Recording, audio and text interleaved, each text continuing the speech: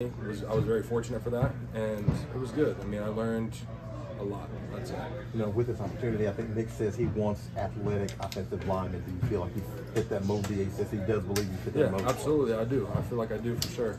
Um, there's some things that we're asked to do that I feel like I'm very apt to do, and I feel like I've I've gotten better every day, and I'm going to continue to get better every day and perfect my craft at the end of the day. So. How much can you learn from these sessions? Because offensive linemen, you guys don't get a chance to put hands on an opponent Yeah. and move them around the way you normally would. Yeah, no, I think you can learn a ton, especially mentally. Like you get a ton of mental reps out of these practices, and the individual stuff you do, like with Coach John Benton, just individual drills and stuff like that, working on our technique and working on things like that. I think I get a ton of things like cleaned up throughout this time, and I'm very, very fortunate to be able to be out here and doing OTAs and doing vet mini camp.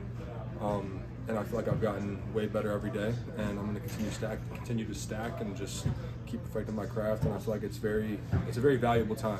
I think it can be taken for granted sometimes, and I think just being able to be out there with my teammates and practicing, um, it's like you can't take it for granted. You know, what do you feel like you needed to clean up from last year? Just tighten some things up, work on my like in terms of offensive line specifics, work on my hands, working on work on my second step quickness, things of that nature. Um, and I feel like I have, and I feel like I've gotten better. And um, I mean, there's a, I mean, a ton of things that can go along with that, but those are just two things that come off the top of my head. And I'm always focusing on trying to get better at something every day. So. Obviously, the first month and then the back couple weeks of the season, the offensive line was a unit with a lot of shuffling due to injury. But having the chance to be a stabilizing piece of the unit now, what does that mean to you?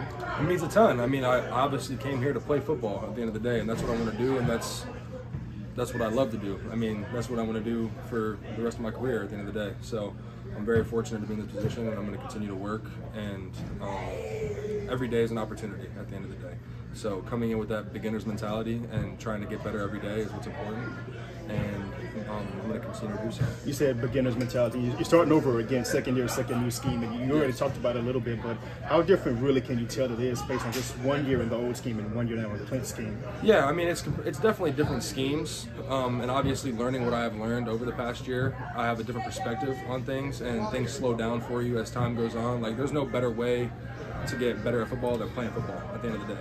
And having a year under my belt, seeing how everything works and everything like that helps things slow down. But in terms of scheme and stuff like that, it's just different. And being able to be out here at OTAs, because I wasn't doing, I didn't do OTAs last year, so being able to do OTAs this year and just get these needed reps and banked reps going into camp is going to be very beneficial. So.